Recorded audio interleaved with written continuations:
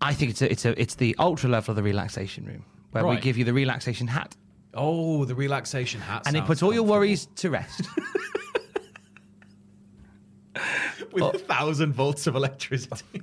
a a warm warmth, warmth, Warmth that only electricity can bring. the warmth of polite love in We've started a electricity for. We've started a cult. What have we done? Well, not unlike uh, Lighthouse, uh, we are going to ask you to sit here for the next couple of hours and listen very carefully and send us some money. um,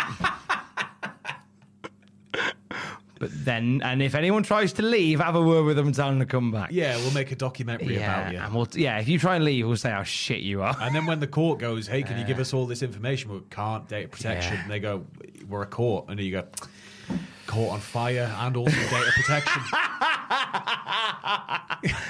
We, had, you know what I mean. I mean, the thing is, right? What what you don't know about John Iley is like he's a really terrible person, and he forever, you know, he had ideas that uh, were against our cause. Yeah. And we tried to politely in the relaxation room, Yeah. uh, convince him otherwise. But there's something wrong with him, and I think everyone should be basically trying to chop his legs off when they He see keeps, him. he keeps insisting about this software called Photoshop, which I've never heard of. No. MS Paint. That's what we're using. We only use MS Paint. Yeah. You know, I'm not suggesting if you see John Iley in the street to to, to bring him in. Um, Or to just shame him and shout back to the 90s Yeah. over and over again. Shout! I mean, do shout back to the nineties at John Iley. Should you see him?